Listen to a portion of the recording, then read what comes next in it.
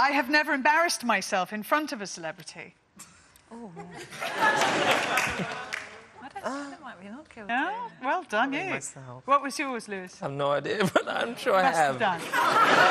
well, you, you were very cool with Arnie on the podium in Melbourne, but a little bit starstruck when he came out. The most embarrassing thing I, probably the most embarrassing thing, I was lucky enough to get invited to Nelson Mandela's uh, 90th birthday in London.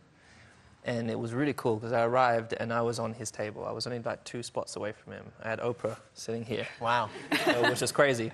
But I, found, I noticed that Will Smith was there, and I'm a big fan of Fresh Prince, so I was like, I want to meet Will. So when everyone started standing up, I was rushing to go and meet Will. And as I was barging past people, I stood really heavily on someone's foot.